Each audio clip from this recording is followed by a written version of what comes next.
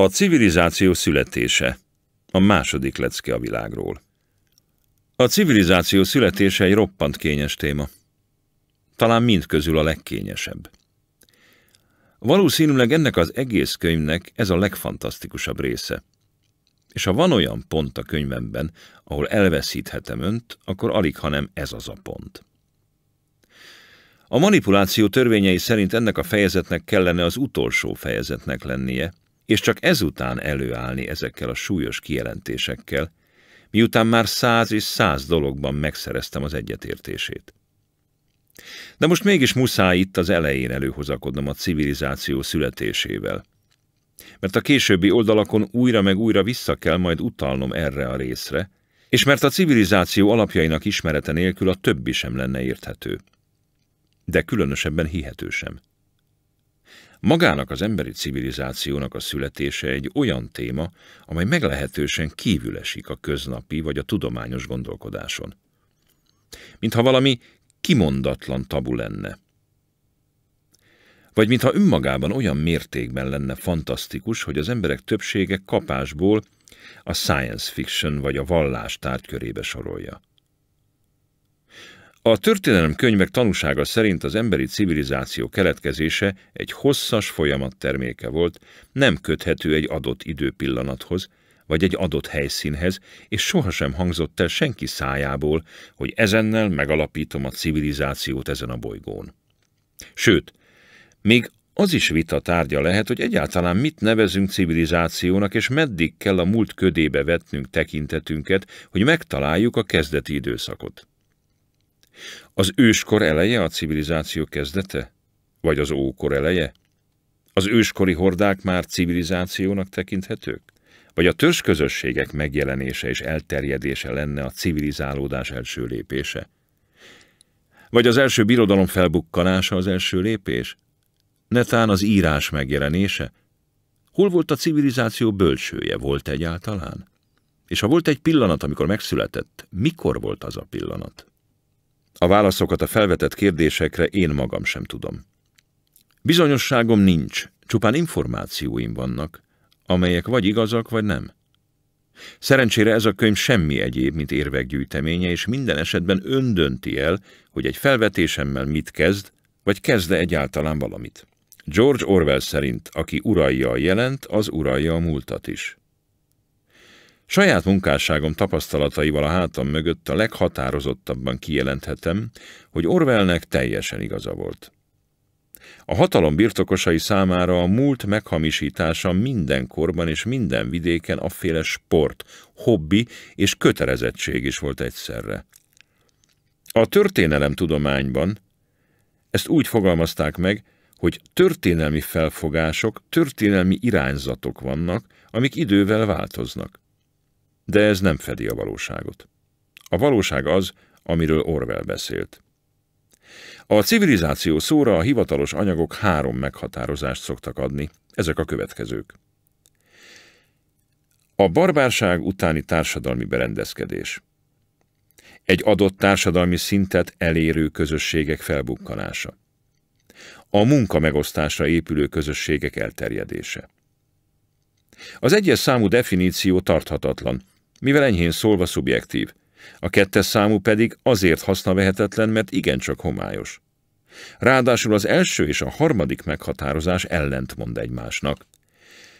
A vándorló és mindent feldúló, meghódító barbárok történelem formáló jelentőséggel bírtak, volt kultúrájuk, művészetük, vallásuk, és eredményeiket látva biztosak lehetünk benne, hogy meglehetősen szervezettek voltak.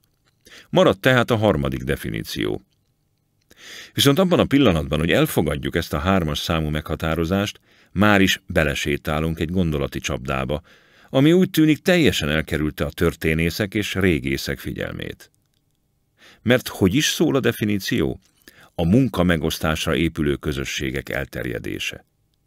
Ezek olyan közösségek, amelyek munka megosztásra épültek, és ezek a típusú közösségek földrajzilag nagy területen terjedtek el munkamegosztás és elterjedtség. Hogyan történhetett? A világban szétszórtan elhelyezkedő kezdetleges törzsek egymástól függetlenül Hirtelen feltalálták a szervezést, és hirtelen rájöttek, hogyha megszervezik magukat és a tevékenységeiket, akkor ezerszer hatékonyabbak lehetnek? Teljes képtelenség, hogy így történt volna. Ez még egy mesében is túl erős lenne. Megszervezni egy közösséget úgy, hogy az teljesen önellátó legyen óriási feladat. Ez nem olyan valami, amire véletlenül rá lehet jönni, mint például arra, hogy a tűzbe ejtett húst könnyebb rágni.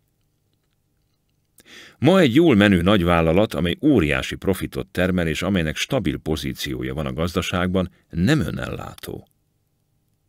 Tehát egy önellátó közösség hosszú távon való fenntartása rendkívüli szervezési ismereteket igényel. Hosszú időn keresztül összetartani egy közösséget, a külső fenyegetettség, az ellenséges csoportulások, az elemek tombolása, a belső visszályok, a vidék biztosította táplálék és építőanyag készletek kimerülése stb. ellenére hihetetlenül nagy feladat. A szervezéstan egyike a legfontosabb tudományoknak, és jelentősége messze felülmúlja a tűzgyújtás vagy a kerék felfedezését. Az emberi közösségek emberekből állnak. Tehát a szervezést emberek találták ki, az emberek terjesztették el. Emberek. Vagy inkább egy ember. Mert ha egy konkrét személy volt az, aki feltalálta, kidolgozta a szervezéstant, akkor ő volt az a személy, aki kitalálta és megalapította az emberi civilizációt. Az elmúlt 25 évben végzett munkám során mérhetetlen mennyiségű titkos iratban nézhettem bele. Ezek egyikében találtam egy nevet és egy dátumot. A név Anhaido. Az időpont pedig 17 ezer évvel ezelőtti. Anhaido egy kiírtott törzs sámánja és egyetlen túlélője volt, és állítólag ő alapította az emberi civilizációt. Nem tudom, hogy mindez igaz-e, de az rendkívül valószínű, hogy tényleg létezett egy ember, aki kitalálta a szervezést, és aki ezáltal megalapította a civilizációt. Talán Anhaidónak hívták, talán sámán volt, talán egy törzs egyetlen életben maradt tagja, talán nem. A kérdés itt az, hogy bárki volt is, aki kieszelte a civilizációt, tudta-e, hogy mit csinál. Vagyis, hogy tudatosan tette-e, amit tett, és hogy volt-e egy olyan pillanat a történelemben, amikor valaki fogta magát, és így szólt, ezennel megalapítom a civilizációt. Vannak bizonyos jelek, amelyek arra utalnak, hogy Anhaido, vagy bárhogy hívták is, pontosan tudta, hogy mit csinál, amikor hozzákezdett munkájához. Anhaido létrehozta az első, mai fogalmaink szerinti államot. Ennek az országnak voltak törvényei, működési szabályzata, hierarchiája, közigazgatása, államformája, érdekei, rövidtávú és hosszú távú céljai. Ez az első állam még ma is létezik. Ugyan nincsenek határai, nincs zászlója, nincsenek ünnepei és nincs himnusza sem, mégis ott van a térképen. A neve civilizáció. Ennek az első államnak a területén jött létre a többi. A világ térképen látható valamennyi ország együttesen alkotja ezt az első államot, amelyet Anhaido hozott létre. A civilizáció nevű államnak van kormánya, van törvénykönyve, van gazdasága, van hadserege, van hírszerzése és van rendőrsége. Hosszú távú célja egyfajta totális szervezettség terjesztése. Államformája pedig rejtett diktatúra. Hogy mik azok a jelek, amelyek arra utalnak, hogy Anhaido pontosan tudta, mit csinál, amikor létrehozta a szervezéstant, és útjára indította a történelem első államát, az emberi civilizációt? A civilizáció jelenlegi felépítése és működése olyannyira sajátságos és olyannyira beleivódott a civilizáció szövedékébe, hogy egyszerűen elképzelhetetlen, hogy ezt a rendszert valakik menet közben találták ki és vezették be nem következhetett be egy ilyenfajta hatalomátvétel. Ha az igazi hatalom tulajdonosai valóban a királyok, a császárok és a főpapok voltak, nem engedték volna meg, hogy egy kívülálló elvegye tőlük a hatalmukat. Mit ajánlhattak volna fel nekik a hatalmukért cserébe, amikor minden vagyon az övék volt, és felette álltak a jogrendszerüknek? Mivel fenyegethették volna őket, amikor minden erő az ő kezükben összpontosult hadseregek és kémszervezetek formájában? Márpedig tény, hogy az uralkodók jönnek és mennek, elárulják és megölik őket, és a lényeg mégsem változik soha. Ez pedig egyet jelent. Azt, hogy az igazi hatalom nem az ő kezükben van, és sohasem volt. A könyv későbbi fejezeteiben vázolásra kerül a rendszer maga úgy, ahogyan az mindennapi életünkben megnyilvánul, egyfajta szisztémát adva a történelem, a média hírei és a napi események értelmezéséhez. Ennek a szisztémának a hatására olyan fokú tudatosság és összefonódás sejlik fel a felszín alatt, amelyet senki nem gondolna valóságosnak, mégis ez a valóság. És ez a valóság először a legteljesebb elutasítást váltja ki az emberből. Azután iszonyú félelmet, végül mélységes dühöt, mert semminek nem kellene úgy lennie, ahogyan van. Anhajdo olyan államot épített fel, amely már a kezdet-kezdetén is meghúzódott a háttérben. Összefogta és kontroll alatt tartotta az emberi közösségeket, a törzseket, a falvakat, majd később a városokat, az országokat és a birodalmakat. A civilizáció az egyik legnagyobb és legbrilliánsabb ötlet az emberiség történelmében. Páratlan a maga nemében.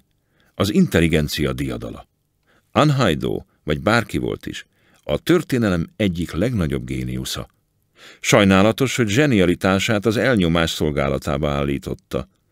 A civilizációt ki kellett találni és létre kellett hozni. Ha a mostani eltűnne, újat kellene a helyére rakni. Ez szükségszerű. Az már nem szükségszerű, hogy a civilizáció az elnyomásra épüljön és tönkretegye az emberiséget. Hogy Anhajdo miért hozta létre a civilizációt, azt nem tudom. Elméleteim ugyan vannak, de egyiket sem áll módonban alátámasztani.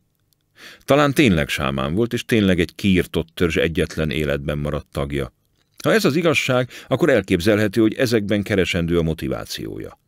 A törzsén belül nem fenyegette veszély, mert fontos ember volt, akire hallgattak, akire odafigyeltek. De a többi törzset nem tartotta a kezében, és ezen majdnem rajta is vesztett. Talán emiatt találta ki, hogy minden emberi közösséget összefog egyetlen hatalmas rendszerbe, amelynek ő áll a középpontjában. Az pedig, hogy ez a rendszer láthatatlan legyen, sámán voltából eredhet, hiszen sámánként a hatalma abból táplálkozott, hogy ő volt az egyetlen a törzsben, aki kapcsolatban állt a láthatatlan szellemvilággal. A civilizáció, azaz az első állam hasonlóképpen épül fel, mint a látható felszíni államok. Van egy kormánya, amit a későbbiekben legfelsőbb kasztként fogok említeni, és van egy közigazgatási rendszere, amely magában foglalja a politikai apparátust, a gazdaságot, a rendfenntartó intézményeket és egyfajta médiahálózatot. Ez a közigazgatási rendszer a mély világ. A civilizáció felszínén található az emberek által ismert felszíni világ – amelyben olyan országok vannak, mint például Izland, Szaudarábia, Spanyolország, az Egyesült Államok vagy Ukrajna. A felszíni világot a mélyvilágtól a máz választja el. A máz a média által létrehozott illúzió, egy hamis valóság, ami azon a módon működik, hogy leköti az emberek figyelmét és összezavarja őket a tényeket illetően. A máz a világ összes hazugsága együttvéve. A mász csak van és nem csinál semmit. Semmi misztikus nincs a létezésében és a működésében. A mélyvilág folyamatosan látható, és látható az is, hogy a máz állításai hazugságok. Én látom a mélyvilágot. Látom, ahogyan működik. Ennek egyszerűen az az oka, hogy nem hiszek a mázban. Mindegy, hogy a média milyen hangosan és milyen hosszú időn át szajkóz valamit, én tudom, hogy nem igaz, és ezért elutasítom. Így a máz nincs rám hatással. A máz elutasítása nem azt jelenti, hogy valaki nem néz tévét. Ha hisz egy 2000 évvel ezelőtt írt pergamentekercsben, akkor hisz a mázban.